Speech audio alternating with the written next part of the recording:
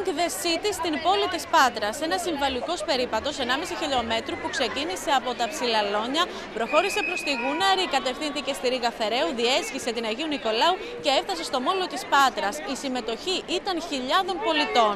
Για να απομυθοποιήσουμε τον καρκίνο του μαστού. Για να κινητοποιήσουμε για την πρόληψη έγκαιρη διάγνωση. Η έγκαιρη διάγνωση σώζει ζωές.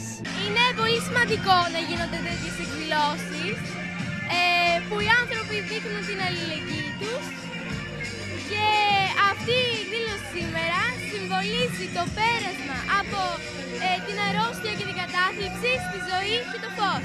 Ο αγώνας για τη ζωή πρέπει να συνεχίζεται, ότι πρέπει να δημιουργηθούν οι προϋποθέσεις ώστε η επιστήμη και η τεχνική που βρίσκεται στο απόγειό της να μπορεί να δίνει τα αποτελέσματά της στους ανθρώπους. Χιλιάδες πατρινές, πατρινοί και όχι μόνο, αλλά και από άλλες γύρω περιοχές συμμετείχαν στο Pink the City και διέδωσαν το μήνυμα κατά του καρκίνου του μαστού και υπέρ της ζωής. Το μήνυμα να το πάρουν όλοι, όλες και να μην φοβούνται.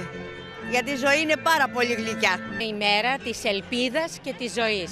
Ελπίδα για έναν κόσμο χωρίς θανάτους από καρκίνο του μαστού. Το μόνο μας όπλο, έγκαιρη διάγνωση.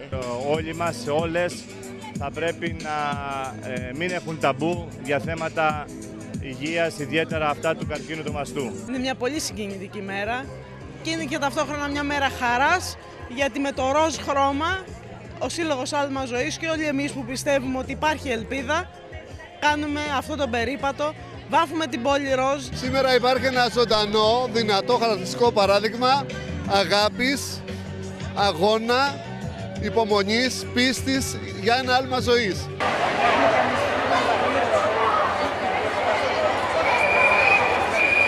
Η πρόληψη σώζει ζωές. Για να αποδώσει ένα φόρο τιμής στις γυναίκες οι οποίες έδωσαν τον αγώνα τους. Αλλά δεν είναι σήμερα μαζί μας και να σφίξουμε το χέρι και να πούμε καλό αγώνα στις γυναίκες που νοσούν. Στην Πάτρα βρέθηκε και η γνωστή ηθοποιός Χρύσα Ρόπα για να στηρίξει την προσπάθεια. Μήνυμα όλων πως η πρόληψη και η έγκαιρη διάγνωση σώζει ζωές. Η ζωή. Αυτό είναι το μήνυμα. Είναι μεγάλη μου τιμή.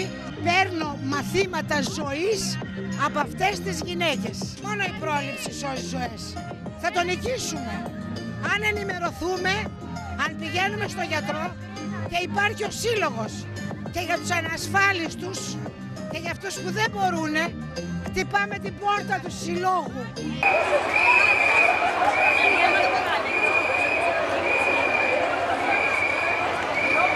να απομυθοποιήσουμε την ασθένεια αυτή και να είμαστε όλοι μαζί στο επίπονο ταξίδι προς την ίαση. Σήμερα το μήνυμα είναι αγάπη, αλληλεγγύη, ίαση, ελπίδα.